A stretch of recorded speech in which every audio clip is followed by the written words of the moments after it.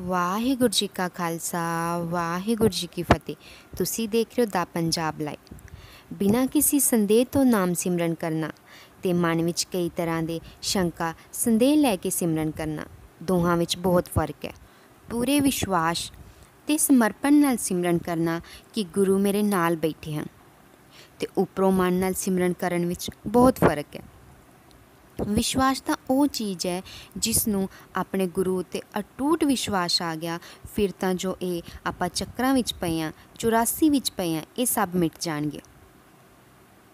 ਗੁਰੂ ਜੀ, ਸੰਗਤ ਕਿਉਂ ਬਣਾਈ ਸੀ? ਗੁਰੂ ਜੀ ਦਾ ਅਟੂਟ ਵਿਸ਼ਵਾਸ ਹੋਏ ਗੁਰੂ ਤੇ। ਅਸੀਂ ਗੁਰੂ ਦੇ ਲੜ ਲੱਗੇ, ਅਸੀਂ ਚੰਗੇ ਰਾਹ ਤੇ ਚੱਲੀਏ। ਸੰਗਤ ਦਾ ਭਾਵ ਸੀ ਸਿਦਕ, ਭਰੋਸਾ ਤੇ ਸਾਡੀ ਅੰਦਰੋਂ ਪਹਿਚਾਨ ਆਪਣੇ ਮੂਲ ਭਾਵ ਨੂੰ ਪਹਿਚਾਨਣਾ। ਸੰਤ ਜੀ ਕਹਿੰਦੇ ਸਨ, ਕਿਹੜੀ ਗੱਲ? ਮੰਨਣੀ ਜਾਂ ਨਾ ਮੰਨਣੀ? ਕਦੇ ਇਹੋ ਜਿਹੀ ਦੁਦਾ ਵਿੱਚ ਫਸ ਜਾਓ ਦੋ ਚਿੱਤ ਹੋ ਜਾਓ, ਤਾਂ ਇਦਾਂ ਕਰੋ। ਜਿਸ ਗੱਲ ਨੂੰ ਸੁਣ ਕੇ ਗੁਰੂਪਤੀ ਪਿਆਰ, ਵਿਸ਼ਵਾਸ ਅਤੇ ਖੁਸ਼ੀ ਵਧੇ। ਅੱਖਾਂ ਬੰਦ ਕਰਕੇ ਉਸ ਨੂੰ ਮੰਨ ਲਓ ਅਤੇ ਆਪਣੇ ਚਿੱਤ ਵਿੱਚ ਵਸਾ ਲਓ ਤੇ ਜੋ ਸੁਣ ਕੇ ਸੰਦੇਹ, ਸ਼ੱਕ ਆਵੇ, ਉਹ ਨਾ ਕਰੋ।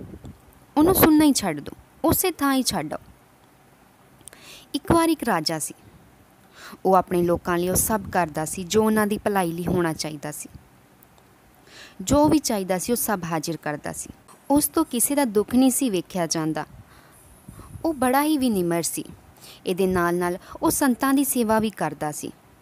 ਹਰੇਕ ਕਿਸੇ ਦਾ ਆਦਰ ਭਾਵ ਵੀ ਕਰਦਾ ਸੀ।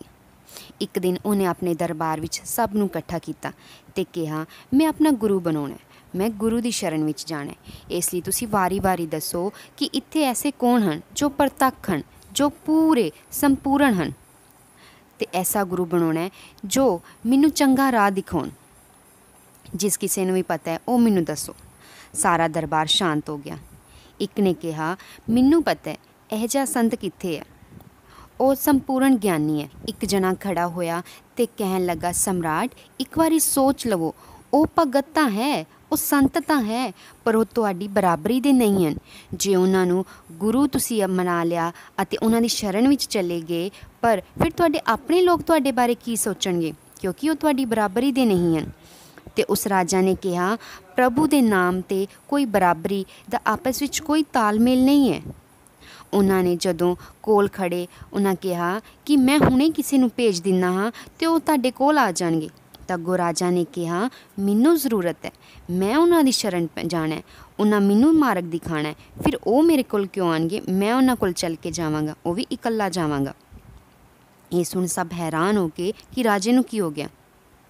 ਇਹ ਰਾਜਾ ਹੁੰਦਾ ਹੋਇਆ ਵੀ ਇੰਨੇ ਨਰਮ ਸੁਭਾਅ ਦਾ ਕਿਵੇਂ ਹੈ? ਇਹ ਤਾਂ ਸਭ ਦੀ ਮਦਦ ਕਰਦਾ ਰਹਿੰਦਾ ਫਿਰ ਜਦੋਂ ਉਹ ਰਾਜਾ ਆਪ ਪੈਦਲ ਚੱਲ ਕੇ ਗਿਆ, ਉਹਨੇ ਦੇਖਿਆ ਉਹ ਸੰਤ ਤਾਂ ਹੱਥੀ ਕਿਰਤ ਕਰ ਰਿਹਾ ਸੀ। ਉਹ ਦੇਖ ਕੇ ਬੜਾ ਹੈਰਾਨ ਹੋਇਆ। ਫਿਰ ਵੀ ਉਹ ਦੇਖ ਰਿਹਾ ਸੀ ਕਿ ਉਹ ਤਾਂ ਆਪਣੇ ਹੱਥਾਂ ਨਾਲ ਬੂਟ ਬਣਾ ਰਹੀ ਸੀ। ਤਾਂ ਰਾਜਾ ਨੇ ਜਾ ਕੇ ਮੱਥਾ ਟੇਕਿਆ। ਕਹਿੰਦੇ, ਜੀ, ਮੈਂ ਤੁਹਾਡੀ ਸ਼ਰਨ ਆਇਆ। ਮੈਨੂੰ ਸੱਚਾ ਰਸਤਾ ਵਿਖਾਓ। ਅੱਗੋਂ ਕਹਿੰਦੇ, ਇਹ ਬੜਾ ਔਖਾ ਰਸਤਾ ਹੈ। ਤੂੰ ਚੱਲ ਲਵੇਂਗਾ? ਰਾਜਾ ਕਹਿੰਦਾ ਹਾਂਜੀ ਮੈਂ ਇਸੇ ਲਈ ਤਾਂ ਆਇਆ। ਫਿਰ ਉਹ ਸੰਤ ਜੀ ਨੇ ਉਹਦੇ ਅੰਦਰ ਜਦੋਂ ਝਾਤੀ ਮਾਰੀ, ਤਾਂ ਉਹਨੂੰ ਦੇਖਿਆ, ਉਹਨੂੰ ਬਹੁਤ ਹੀ ਪ੍ਰੀਤ ਲੱਗੀ ਹੋਈ ਹੈ ਆਪਣੇ ਗੁਰੂ ਨਾਲ ਜੁੜਨ ਤੇ। ਤਾਂ ਉਹ ਕਹਿੰਦੇ, ਤੁਸੀਂ ਸੱਚੀ ਹੀ ਇਹ ਗੁਰੂ ਵੱਲ ਜਾਣਾ ਗੁਰੂ ਦੀ ਸ਼ਰਨ ਨੂੰ ਜਾਣਾ ਤੁਸੀਂ ਰਾਜਾ ਹੋ। ਰਾਜਾ ਕਹਿੰਦਾ, ਹਾਂਜੀ, ਮੈਂ ਜਾਣਾ ਤਾਂ ਉਹ ਸੰਤ ਜੀ ਕੋਲ ਇੱਕ ਬਾਟਾ ਪਿਆ ਹੋਇਆ ਸੀ। ਕਿਉਂਕਿ ਉਹ ਬੂਟ ਬਣਾ ਰਹੇ ਸੀ। ਉਹ ਬਾਟੇ ਵਿੱਚ ਜਲ ਉਹਨਾਂ ਜਦੋਂ ਹੱਥ ਵਿੱਚ ਪਾਇਆ, ਵਿੱਚੋਂ ਥੋੜਾ ਜਿਹਾ ਜਲ ਕੱਢ ਲਿਆ। ਉਸੇ ਹੱਥ ਨਾਲ ਰਾਜੇ ਨੂੰ ਦਿੱਤਾ, ਕਿਹਾ, ਰਾਜਾ, ਇਹ ਪੀ ਲੈ। ਰਾਜਾ ਨੇ ਹੱਥ ਵਿੱਚ ਲੈ ਤਾਂ ਲਿਆ, ਪਰ ਸੋਚਣ ਲੱਗ ਗਿਆ, ਮੈਂ ਗੰਦਾ ਪਾਣੀ ਕਿਵੇਂ ਪੀਵਾਂ? ਉਹ ਮਨ ਵਿੱਚ ਵਿਚਾਰ ਕਰਨ ਲੱਗ ਗਿਆ। ਸੰਤ ਜੀ ਨੇ ਦੇਖ ਲਿਆ ਕਿ ਇਹ ਕਿੰਨੇ ਗੁਣਾ ਨਾਲ ਭਰਿਆ ਪਰ ਫਿਰ ਵੀ ਇਹਦੇ ਮਨ ਵਿੱਚ ਸੰਦੇਹ ਆ ਗਿਆ। ਉਹ ਸੋਚਣ ਲੱਗਾ, ਇਹ ਕੀ ਗੱਲ? ਕਿ ਮੈਂ ਇਹ ਪਾਣੀ ਕਿਵੇਂ ਪੀ ਲਾਂ? ਉਹਨੇ ਜਲ ਨੂੰ ਪੀਤਾ ਨਾ। ਉਹਨੇ ਸਿਰ ਦਿਖਾਵਾ ਕੀਤਾ ਅਤੇ ਉਹ ਜੋ ਜਲ ਸੀ, ਉਹ ਉਹਨੇ ਆਪਣੇ ਬਾਹਾਂ ਦੇ ਅੰਦਰ ਕਰ ਲਿਆ। ਜਦੋਂ ਘਰ ਜਾਂਦਾ ਹੈ, ਵਸਤਰ ਉਤਾਰਦਾ ਵਸਤਰ ਉਹਦੇ ਅੱਛੇ ਹੁੰਦੇ ਆ, ਉੱਤੇ ਦਾਗ ਲੱਗ ਜਾਂਦਾ ਉਹ ਉਹਨਾਂ ਵਸਤਰਾਂ ਨੂੰ ਧੋਣ ਲਈ ਦਿੰਦਾ ਜਦੋਂ ਧੋਣ ਲਈ ਦਿੰਦੇ ਹਨ ਅਤੇ ਕੱਪੜੇ ਧੋਣ ਵਾਲਾ ਨੂੰ ਲੈ ਕੇ ਜਾਂਦਾ ਉਸ ਤੋਂ ਉਹ ਦਾਗ ਹੀ ਨਹੀਂ ਉਤਰਦੇ ਤੇ ਉਹ ਉਦਾਸ ਜਿਹਾ ਬੈਠ ਜਾਂਦਾ ਉਹਦੀ ਬੇਟੀ ਉਹਨਾਂ ਕੋਲ ਆਉਂਦੀ ਹੈ, ਕਹਿੰਦੀ ਪਿਤਾ ਜੀ ਕੀ ਹੋਇਆ? ਇੰਨੇ ਉਦਾਸ ਕਿਉਂ ਬੈਠੇ ਹੋ? ਅੱਗੋਂ ਕਹਿੰਦੇ ਕਿ ਆ ਜੋ ਰਾਜੇ ਦੇ ਵਸਤਰ ਆਏ ਨੇ ਨਾ, ਇਸ ਤੇ ਦਾਗ ਲੱਗੇ ਹੋਏ ਨੇ ਤੇ ਇਹ ਉਤਰਦੇ ਹੀ ਨਹੀਂ ਪਏ। ਨਾ ਉਤਰੇ ਤਾਂ ਕੀ ਪਤਾ ਮੈਨੂੰ ਕੀ ਬੋਲਣਗੇ। ਉਹ ਕਹਿੰਦੀ, ਫਿਰ ਕੀ ਹੋ ਗਿਆ ਪਿਤਾ ਜੀ ਮੈਨੂੰ ਦੋ। ਉਹਨੇ ਜਿੱਥੇ ਜਿੱਥੇ ਦਾਗ ਲੱਗੇ ਸੀ, ਉਹ ਉੱਥੋਂ ਉੱਥੋਂ ਮੂੰਹ ਵਿੱਚ ਪਾ ਲਿਆ ਕਪੜਾ। ਜਦੋਂ ਮੂੰਹ ਵਿੱਚ ਪਾ ਲਿਆ ਤਾਂ ਇੱਕਦਮ ਥੱਲੇ ਡਿੱਗੀ ਕੁਝ ਸਮਾਂ ਲਿਆ ਤਾਂ ਉਹ ਖੜੀ ਹੋ ਗਈ। ਜਦੋਂ ਉਹ ਖੜੀ ਹੋਈ ਤਾਂ ਇੱਕ ਅਲੱਗ ਜਿਹਾ ਹੀ ਉਹਦਾ ਵ- ਰਵੱਈਆ ਸੀ। ਉਹ ਰਵੱਈਆ ਉਹਦੇ ਸੋਹਣੇ ਸੋਹਣੇ ਬਚਨ ਬੋਲ ਰਹੀ ਸੀ।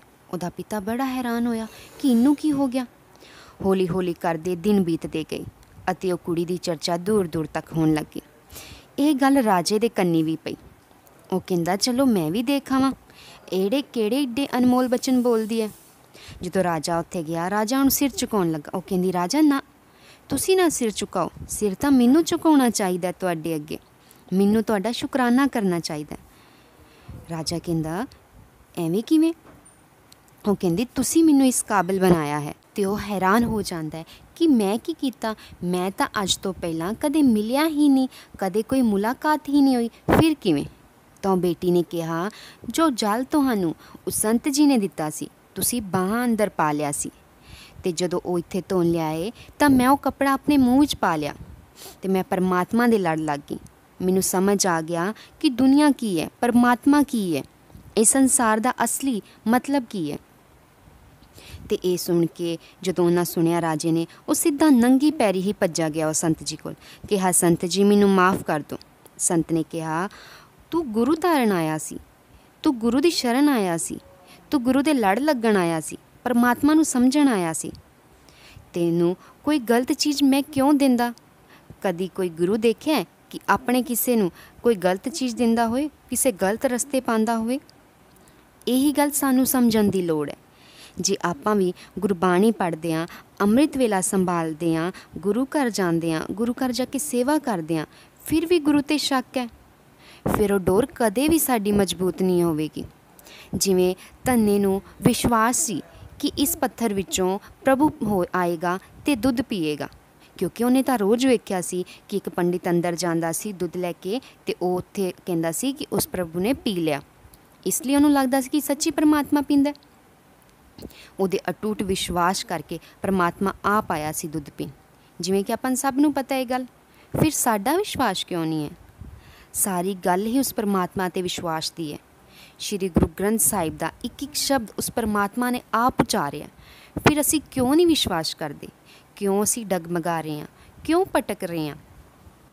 ਅਰਦਾਸ ਅਤੇ ਵਿਸ਼ਵਾਸ ਦੋਵੇਂ ਐਸੇ ਸ਼ਬਦ ਹਨ ਜੋ ਨਜ਼ਰ ਤਾਂ ਨਹੀਂ ਆਉਂਦੇ, ਪਰ ਦੋਵਾਂ 'ਚ ਇੰਨੀ ਤਾਕਤ ਹੈ ਕਿ ਨਾਮੁਮਕਿਨ ਨੂੰ ਵੀ ਮੁਮਕਿਨ ਬਣਾ ਦਿੰਦੇ ਹਨ। ਸ਼੍ਰੀ ਗੁਰੂ ਗੋਬਿੰਦ ਸਾਹਿਬ ਜੀ ਨੇ ਪਾਣੀ ਵਿੱਚ ਪੱਥਰ ਸੁੱਟਿਆ ਤੇ ਸਿੰਘਾਂ ਨੂੰ ਬਾਰ-ਬਾਰ ਪੁੱਛਿਆ ਕਿ ਦੱਸੋ, ਪੱਥਰ ਕਿਉਂ ਡੁੱਬ ਰਹੇ ਹਨ? ਵਾਰ-ਵਾਰ ਇੱਕੋ ਹੀ ਜਵਾਬ ਮਿਲਿਆ ਕਿ ਪੱਥਰ ਭਾਰੀ ਸੀ ਤਾਂ ਡੁੱਬ ਗਿਆ। ਫਿਰ ਗੁਰੂ ਸਾਹਿਬ ਨੇ ਭਾਈ ਨੰਦ ਲਾਲ ਜੀ ਤੋਂ ਪੁੱਛਿਆ, ਕਿ ਤੁਸੀਂ ਦੱਸੋ? ਭਾਈ ਨੰਦ ਲਾਲ ਜੀ ਬੋਲੇ, ਗੁਰੂ ਜੀ, ਮੈਨੂੰ ਤਾਂ ਇੱਕੋ ਹੀ ਗੱਲ ਸਮਝ ਆਈ ਹੈ, ਜੋ ਤੁਹਾਡੇ ਹੱਥੋਂ ਛੁੱਟ ਗਿਆ, ਉਹ ਡੁੱਬ ਗਿਆ। ਇਸ ਲਈ ਤੁਸੀਂ ਵੀ ਆਪਣੇ ਗੁਰੂ ਦੇ ਲੜ ਲੱਗੋ ਤੇ ਤਰੋ। ਪਰਮਾਤਮਾ ਇਨਸਾਨ ਨੂੰ ਕੁਝ ਸਿਖਾਉਣ ਲਈ ਮੁਸ਼ਕਲ ਰਾਹਾਂ 'ਚ ਪਾਉਂਦਾ ਹੈ। ਜੋ ਸਿੱਖ ਜਾਂਦੇ ਹਨ, ਉਹ ਤਰ ਜਾਂਦੇ ਹਨ ਤੇ ਜੋ ਹਿੰਮਤ ਹਾਰ ਜਾਂਦੇ ਹਨ, ਉਹ ਹਾਰ ਹੀ ਜਾਂਦੇ ਹਨ। ਇਸ ਲਈ ਹਿੰਮਤ, ਵਿਸ਼ਵਾਸ ਇਹ ਆਪਣੇ ਅੰਦਰ ਪੈਦਾ ਕਰੋ। ਤੇ ਇੱਕ ਗੱਲ ਹਮੇਸ਼ਾ ਯਾਦ ਰੱਖੋ, ਦੁੱਖ ਕੋਈ ਸਜ਼ਾ ਨਹੀਂ ਹੈ। ਸਗੋਂ ਪ੍ਰਮਾਤਮਾ ਦੇ ਨੇੜੇ ਹੋਣ ਦੀ ਕੀਮਤ ਹੈ। ਅਸੀਂ ਉਹਨਾਂ ਹੋਰ ਪ੍ਰਭੂ ਦੇ ਨੇੜੇ ਜਾਂਦੇ ਉਹਨਾਂ ਪ੍ਰਭੂ ਨੂੰ ਹੋਰ ਯਾਦ ਕਰਦੇ ਹਾਂ।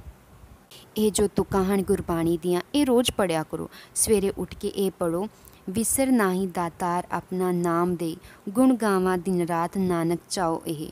ਨਹਾਉਣ ਸਮੇਂ ਇਹ ਬੋਲਿਆ ਕਰੋ ਕਰ ਇਸ਼ਨਾਨ ਸਿਮਰ ਪ੍ਰਭ ਆਪਣਾ, ਮਨ ਤਨ ਪਏ ਅਰੋਗਾ। ਜਦੋਂ ਤੁਸੀਂ ਤਿਆਰ ਹੋਵੋ, ਤਾਂ ਇਹ ਬੋਲਿਆ ਕਰੋ, ਜੈ ਪ੍ਰਸਾਦ ਤੇਰੋ ਸੁੰਦਰ ਰੂਪ, ਸੋ ਪ੍ਰਭ ਸਿਮਰੇ ਸਦਾ ਅਨੂਪ। ਇਸ ਲਈ ਅੱਜ ਤੋਂ ਤੁਸੀਂ ਗੁਰਬਾਣੀ ਦਾ ਜਾਪ ਕਰਨਾ ਸ਼ੁਰੂ ਕਰ ਦਿਓ ਅਤੇ ਆਪਣੇ ਗੁਰੂ ਤੇ, ਆਪਣੇ ਰੱਬ ਤੇ ਐਸਾ ਭਰੋਸਾ ਰੱਖੋ ਕਿ ਉਹ ਜੋ ਕਰ ਰਿਹਾ ਉਹ ਤੁਹਾਨੂੰ ਕਬੂਲ ਹੈ। ਤੁਹਾਨੂੰ ਕਿਸੇ ਤਰ੍ਹਾਂ ਦਾ ਕੋਈ ਸ਼ੱਕ ਨਹੀਂ, ਕਿਉਂਕਿ ਪਰਮਾਤਮਾ ਜੋ ਸਾਡੇ ਲਈ ਕਰਦਾ ਹੈ, ਉਹ ਸਦਾ ਹੀ ਠੀਕ ਕਰਦਾ ਹੈ। ਜ਼ਰੂਰੀ ਹੈ ਜੋ ਅਸੀਂ ਮੰਗਿਆ, ਆਪਾਂ ਉਹ ਨਹੀਂ ਮਿਲਦਾ ਕਈ ਵਾਰ। ਤਾਂ ਆਪਾਂ ਉਦਾਸ ਹੋ ਕੇ ਬੈਠ ਜਾਂਦੇ ਹਾਂ। ਕੀ ਪਤਾ ਪ੍ਰਭੂ ਨੇ ਉਸ ਤੋਂ ਵੀ ਸੋਹਣੀ ਚੀਜ਼ ਸਾਡੇ ਕਿਸਮਤ 'ਚ ਲਿਖੀ ਹੋਵੇ, ਉਸ ਤੋਂ ਵੀ ਵੱਧ ਸਾਡੇ ਲਈ ਕੁਝ ਲਿਖਿਆ ਹੋਵੇ। ਜੋ ਸਾਡੇ ਲਈ ਚੰਗਾ ਨਹੀਂ ਹੈ, ਉਹ ਪ੍ਰਭੂ ਨਹੀਂ ਦਿੰਦੇ। ਜੋ ਸਾਡੇ ਲਈ ਬਹੁਤ ਜ਼ਿਆਦਾ ਵਧੀਆ ਹੈ, ਜੋ ਅੱਗੇ ਚੱਲ ਕੇ ਵੀ ਸਾਡੀ ਸਹੀ ਸੇਧ ਦੇਗਾ, ਪ੍ਰਭੂ ਸਾਨੂੰ ਉਹੀ ਚੀਜ਼ ਦਿੰਦੇ ਨੇ। ਪਰਮਾਤਮਾ ਸਾਡੀ ਝੋਲੀ ਉਹੀ ਦਾਤ ਪਾਉਂਦੇ ਨੇ। ਇਸ ਲਈ ਜੋ ਤੁਹਾਨੂੰ ਪ੍ਰਭੂ ਨੇ ਦਿੱਤਾ ਹੈ, ਉਹਦਾ ਸਿਰ ਮੱਥੇ ਕਬੂਲ ਕਰਿਆ ਕਰੋ। ਉਹਨੂੰ ਆਪਣੇ ਸਮਝਿਆ ਕਰੋ ਕਿ ਇਹ ਮੈਨੂੰ ਦਾਤ ਮਿਲੀ ਹੈ। ਚਾਹੇ ਸੁੱਖ ਹੈ, ਦੁੱਖ ਹੈ, ਜਿਵੇਂ ਦਾ ਵੀ ਸਮਾਂ ਜਿਹੜਾ ਦੁੱਖ ਹੈ, ਉਹ ਨਹੀਂ ਰਹੇਗਾ।